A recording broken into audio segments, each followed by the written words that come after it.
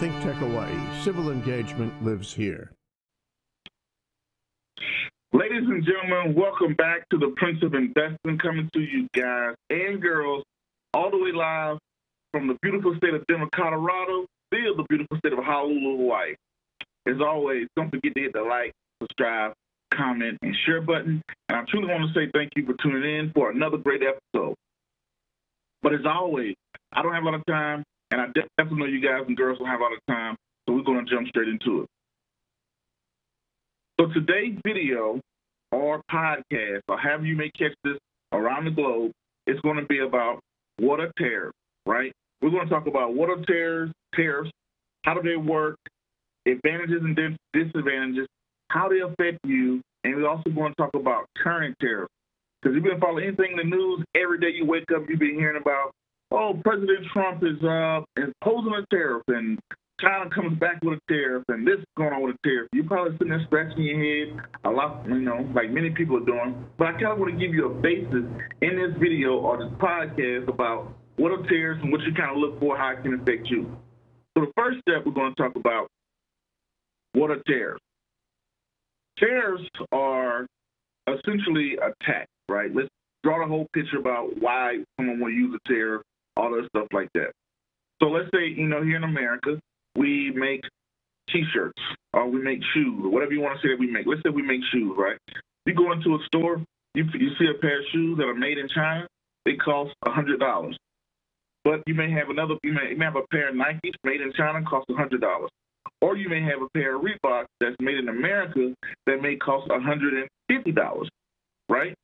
So essentially, let's say the Nike shoes are made in China and they ship them over here, they sell them to us, right? You know, that's what Americans do. That's the American way. We buy a lot of things. We don't make that much. That's why we're working in a deficit all the time, right? Because we import more than we export. So which means that we buy more than we make. We're more consumers than producers versus China, who's the leading uh, manufacturer in the world, where they make a whole lot of things and they don't um, import as much.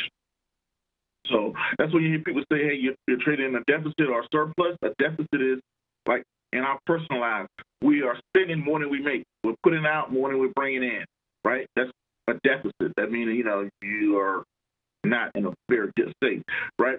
But anyway, the thing is, when a country sends things over here, let's say China, who manufactures, who's the king of manufacturing, who can have cheap labor. You know, we all see the stories, heard the stories of uh, the labor laws in China, which are very uh, relaxed, where people are using, you know, people are working, this, I to say a sweatshop, but they're working 12, 13 hour days, seven days a week, so they can put out a lot of things a whole lot faster, and they're pretty good at it. They pretty much can copycat anything. They pretty much can um, quote unquote bootleg anything they want to bootleg. So they can send things. They can get a lot of cheap labor. When you have cheap labor, you also make your product cheaper. So, for example, when you bring a, um, let's say if a product may cost five dollars to make, if it costs five dollars to make with the labor cost, because you got to pay someone to make it, all that stuff like that, it may only cost them ten dollars to sell it to make a profit here in America. But here in America, you know how we are. We like to get a whole lot by doing less. For prime example, we barely want to work 40 hour week in most cases. We want six figures. We want benefits. We want holidays off. We want sick time, vacation time, all the other great stuff. I'm not playing placing the blame because I wanted to, right? So we like to do and make a lot. So for prime example, we're not going to work for pennies on a dollar. We want to make six figures. We want to make a nice salary and we don't want to work that much time. Versus when you look at the labor laws in China, when people they work a lot of hours and they have low pay. So when someone works many hours and they're low paid, then they can put out more product for cheaper. In America, we don't even want to work. We don't want to work no weekends, right? We only want to. We barely want to do a forty-hour week, thirty-hour week, preferably. So when you are when your production costs more, because it's going to cost more to hire me, because I want to you know, I want 25 30 40 dollars an hour here in America versus someone in China, they can do it for five or ten dollars. You know, if that, you know, pennies on a dollar for their labor cost. So they can make their product cheaper to turn around and make a profit from. So well I'm going through that to kind of give you a little background of kind of how things go, right? So here in America, to make our products, it costs more. So if you walk into a store and you see a pair of shoes that cost $100 versus another pair of shoes that costs $150. Most people, I'm not.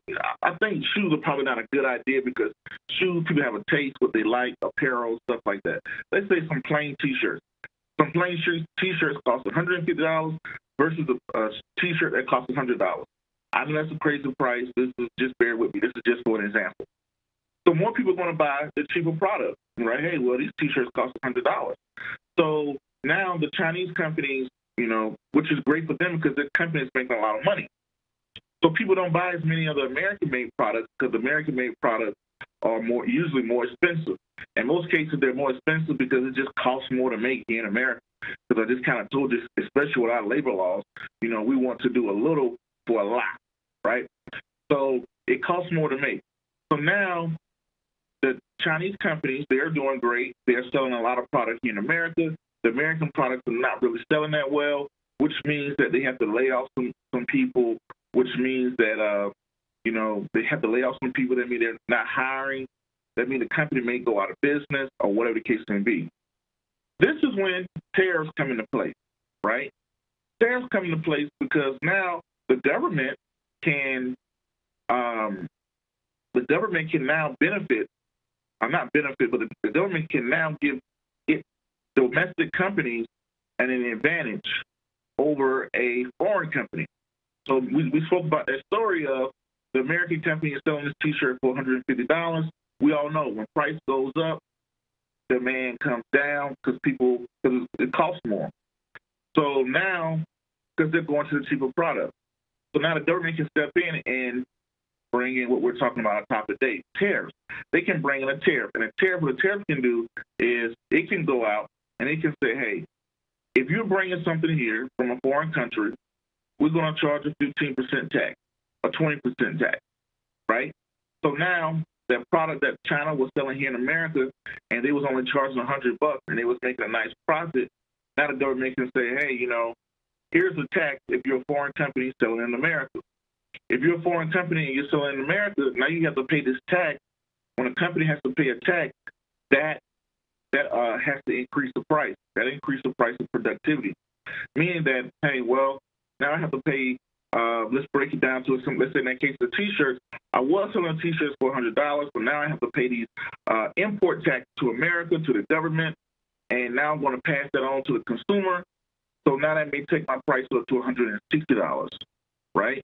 So now my T-shirts that I was selling at $100 are now costing $160. Now the American product T-shirts that were selling for $150, now they have a competitive advantage because they can sell a little bit cheaper than China. So in most cases, people will start buying the $150 T-shirt. So when people buy the $150 T-shirts, they buy more, and the more they buy, that means the more they produce. The more they produce means the more people they hire, the more people they hire, that means more people that have jobs. When people have jobs, they spend money. Now they may go to movies. They may go buy a new car. They may go uh, buy a house. Things like that to boost the economy to get money uh, moving because money, you know, is made to move. It's made to be spent. It's a currency, right? A currency is made to move. That's the way that um, we just got to think about it. Another person's spending is someone else's income. If nobody's spending, I don't have an income. So I need people to spend. So, and all for people to spend is if they have an income. So it kind of goes in a nice little circle or whatever the case may be.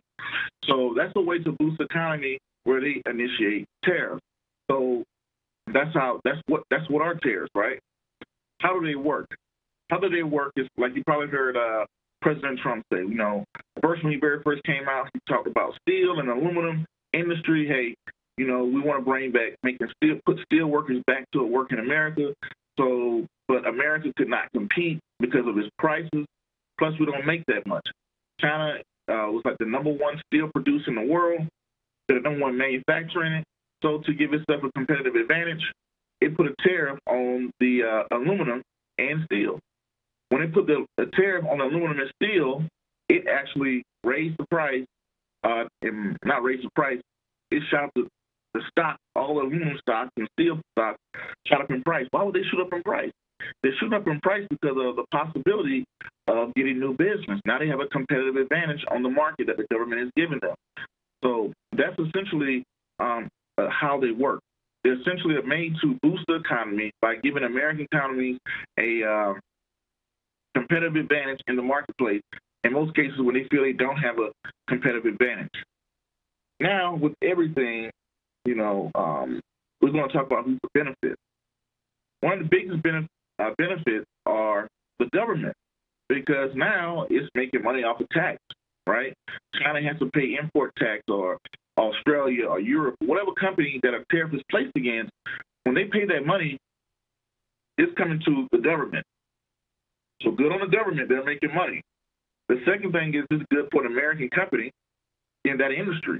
If I was a steel maker and now China, my competitors' prices have been jacked up, now that gives me a competitive advantage. So hey, when I have a competitive advantage, that means more profits for me. And usually when I make more profit, that means I can make more stuff. And usually I will hire more people. So that means a lot of American workers can now have jobs if they're working in that particular field. Also, uh, who stands to benefit is usually the stock price, right? You've seen aluminum stocks go off, you've seen steel stocks go off, um, but people are just getting hired and the industry is starting to take a turnaround because they're making pretty good money. They can hire more people, all the great stuff like that. Those are the people to uh, benefit. Now we're going to talk about the advantages and disadvantages.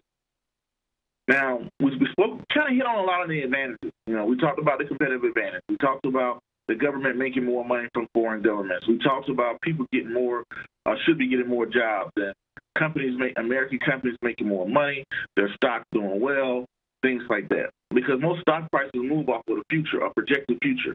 Wow, these guys are going to make more money than usual. The price start to uh, increase. Now, one, some of the disadvantages.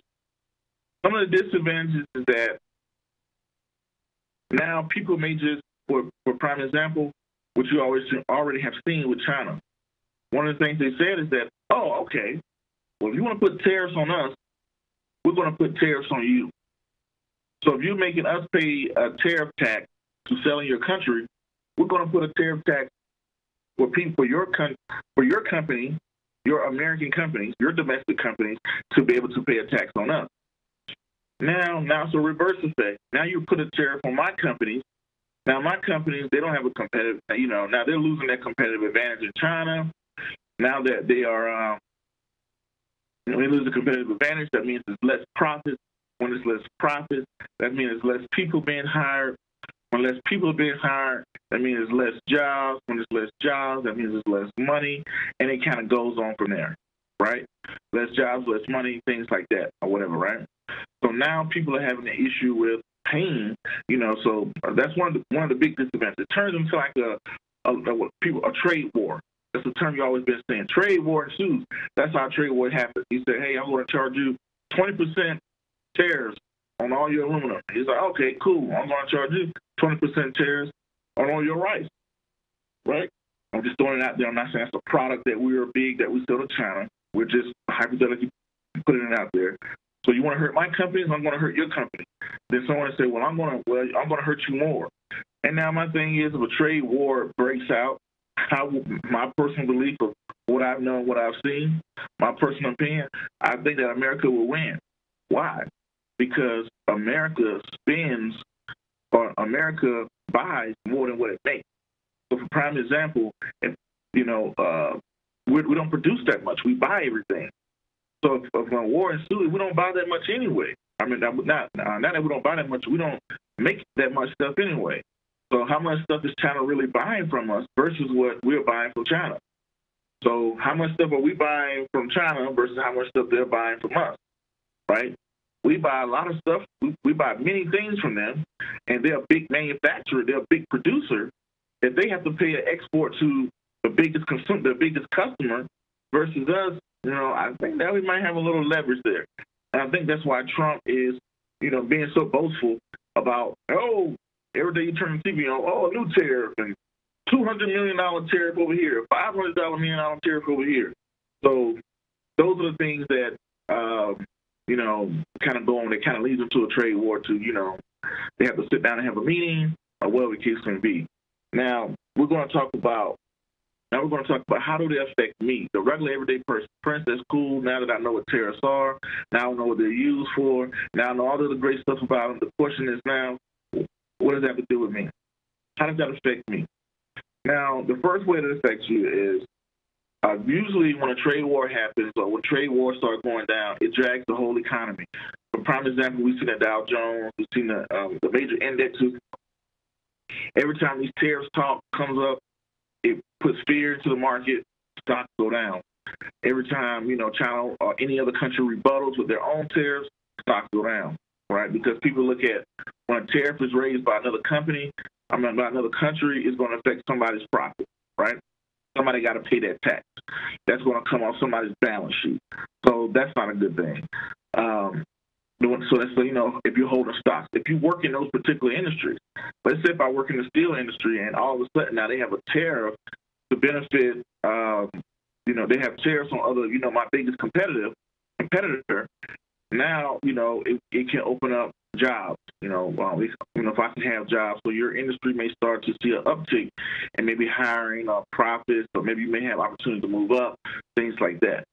Another way, if you are a uh, stockholder in a particular aluminum industry or maybe some type of commodity, whatever industry that's uh, in question, you may see an uptick. You may see, you know, you may see that be affected. You may see an uptick or a downtick, depending on, you know, what's going on, the latest and greatest with the particular tariffs. Because just because tariffs are announced, another country can announce tariffs on your particular company that can hurt your company's earnings, right? Because nobody wants to pay more tax. So that's a good way uh, to gauge it as well when you look at who's going to pay the particular tariffs. Now, uh, when you do the particular tariffs, not when you do the particular tariffs, when you're talking about um, um, particular tariffs, how they affect you, we just went over that. It's going to affect, you know, maybe your stock, employee, uh, you know, um, employee pensions and the overall stock market stock market itself. Because you know it's fear and greed. You know, when someone places a tariff, when Trump says it, sometimes the market may run up because we're like, "Ooh, wow, our companies, American companies, now have an advantage." Then when China says it, then it's like, "Oh no, we don't like that," because the market moves off of that. Now, the fifth thing you want to get into is uh, current tariffs. Current tariffs, I can't even keep up with the current tariffs. Every time I turn around, Trump says, "Oh, I'm going to put a tariff on this," and China comes back, "Oh, I'm going to do this." Then they're like, "Oh, we're going to have a trade meeting." Then they have a trade meeting, and they're like, "Oh, well, we're going to pull back." And then China's saying, "Hey, we're going to pull back." And then next week is this on Mexico and Canada and whatever case may be. Then the same thing when it happens to China. So it just right now it's kind of hard to say who's going to be what. It seems like it's some type of uh, back and forth tennis match of who's going to do what. So it's kind of hard for me to just sit there and pay attention to every single day unless I was in that industry. If I worked in the steel industry, I'm a firm believer. If you worked at a company for 5, 10, 15, 20 years, look into investment to the company that you work at.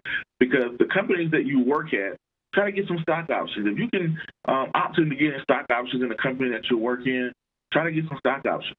So you know more about the steel industry, the aluminum industry, all these particular industries that's going on back and forth with the whole tariff thing. You know more about them than I do. So I don't try to like get in and know every niche and uh, about every single thing.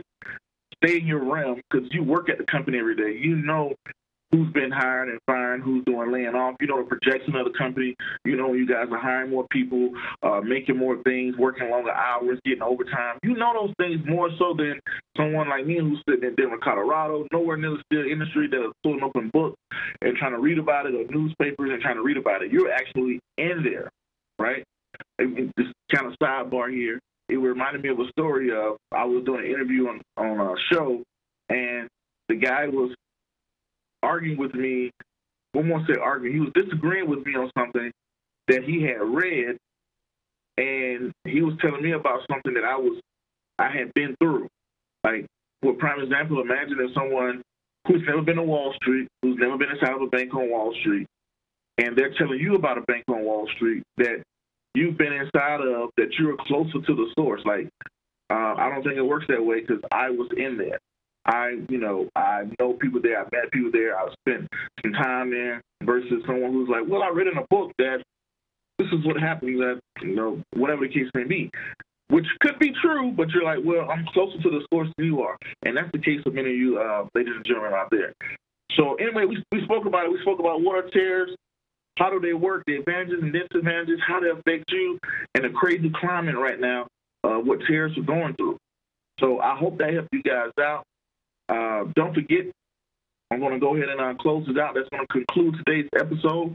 Hopefully, uh, it makes more sense to you, and that you see now when you see it pop up about tariffs, you know something about it. Um, don't forget to hit that like, subscribe, comment, and share button. Thank you guys for tuning in. Until the next video, podcast, cartoon, or whatever you see me do crazy around the globe, peace, be safe, I'm out, and thank you.